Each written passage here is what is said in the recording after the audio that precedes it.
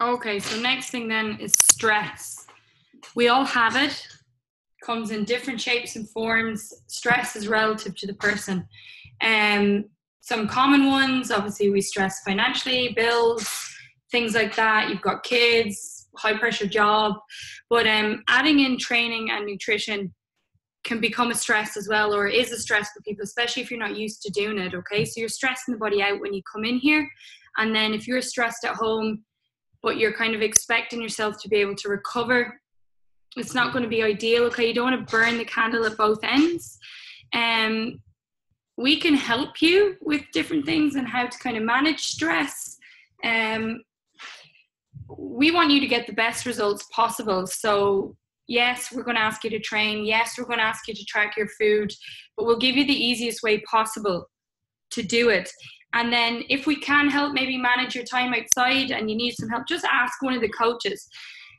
This slide just shows all the different types of stresses that could be happening in your life. I mean, family, wives, husbands, you could be sick, um, plan a wedding. Doesn't necessarily have to be negative, it can be a positive thing, but it's just high stress and hitting deadlines and things like that.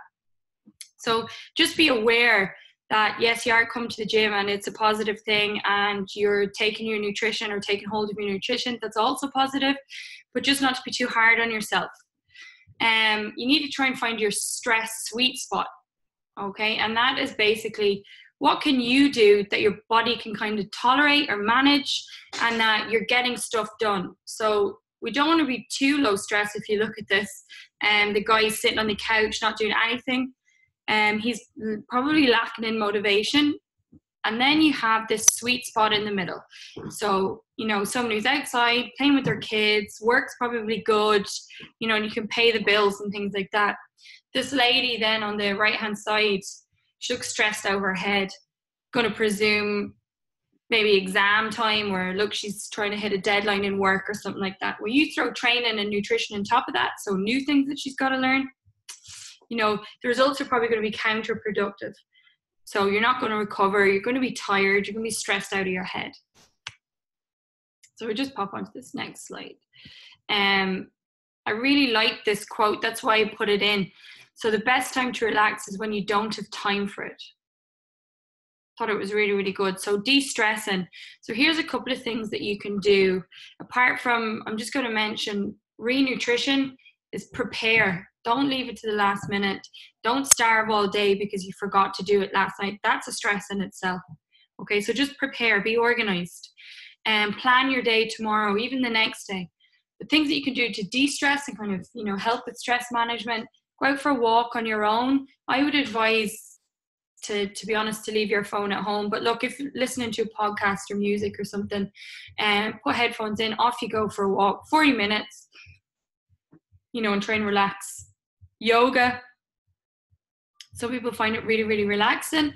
Um, meditation, it could be five minutes in the morning um, where you just stick your headphones in. You can just loads of apps that you can um, use to help meditate in the morning, just, you know, to gather your thoughts before you kind of take on the day. So, me time, and I put that in because me time is, I suppose, whatever you enjoy doing. Um, that might be just sitting in a room with no telly on if you've got kids and they're at school and you just take a minute sit have a cup of coffee or tea and just you know take a deep breath. Could be a spa going for a massage. You know what works for you? Some people use these adult coloring books you know just to forget about anything but just what's in front of you. And um, try and find what works for you and if you're kind of struggling you know you don't know how to de-stress you think you're kind of highly strong and you know you don't really know how to manage your time and the nutrition trains all getting a little bit much for you don't just think that you have to do that on your own. Come in and chat to one of us. We can definitely, you know, give you some advice um, that you can, you know, implement straight away.